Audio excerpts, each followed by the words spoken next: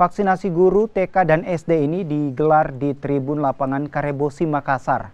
Sebelum disuntik vaksin, para tenaga pendidik ini terlebih dahulu menjalani screening untuk memastikan mereka memenuhi syarat penerima vaksin COVID-19. Vaksin bagi para guru ini dilakukan di tengah bulan Ramadan dan mereka tetap yakin tak membatalkan puasa merujuk pada fatwa Majelis Ulama Indonesia. Pemerintah Kota Makassar menargetkan seluruh guru sudah selesai divaksin di bulan April ini. Yang divaksin hari ini adalah guru-guru TK dari 8 kecamatan. Jadi kita bagi sesi untuk TK. Hari ini ya, sesi pertama, besok sesi kedua untuk TK.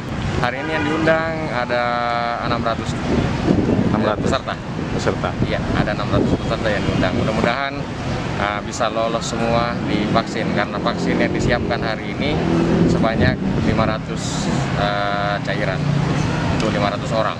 Bulan Ramadan pun kita tetap lakukan setelah dapat petunjuk juga dari pemerintah dan majelis ulama bahwa itu boleh.